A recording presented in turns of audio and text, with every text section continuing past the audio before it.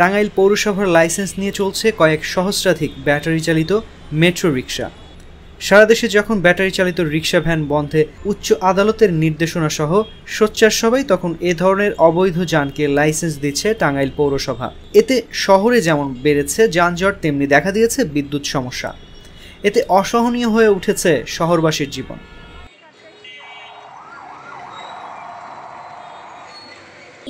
বিশ হাজার কিছু কিছু বইয়ের মধ্যে লেখা আছে যে ভাই।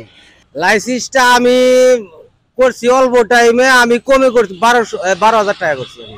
ওরা আগে বিশ পঁচিশ করে তারা বেচছে তখন আমি যে মাস দেড়েক ধরে আর করছি আর কি। এটা স্যার চালান জানা স্যার এই কারণে মনে করেন যে আমি এটা করছি। ওই যে গাড়ি ধরে নিয়ে যায় থানায় নিয়ে যায় বা পৌরসভায় নেয় গদি নিয়ে যায় গা। জানা যায় আঠারোশো সাতাশি সালের পহেলা জুলাই স্থাপিত হয় টাঙ্গাইল পৌরসভা। যার বর্তমান আয়তন উনত্রিশ দশমিক চার তিন বর্গ কিলোমিটার। আঠারোটি ওয়ার্ডের প্রথম শ্রেণির এই পৌরসভার মোট সড়ক সংখ্যা পাঁচশো নব্বইটি। টাঙ্গাইল পৌরসভার লাইসেন্স বিভাগ জানায় পৌরসভার লাইসেন্স লাইসেন্সপ্রাপ্ত অটোরিকশার সংখ্যা চার হাজার পাঁচশো আর রিক্সা রয়েছে পাঁচ হাজার। অটোরিকশা লাইসেন্স ফি দশ হাজার পাঁচশো আর প্যাডেল চালিত রিক্সার লাইসেন্স ফি এক হাজার টাকা।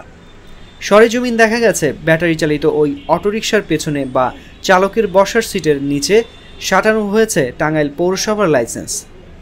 টাঙ্গাইল পৌরসভার বর্তমান mayor S M Sirajul Haque Alamgir স্বাক্ষরিত এক বছর মেয়াদী ওই লাইসেন্স দুই হাজার একুশ সালে প্রথম দফায় অনুমোদিত।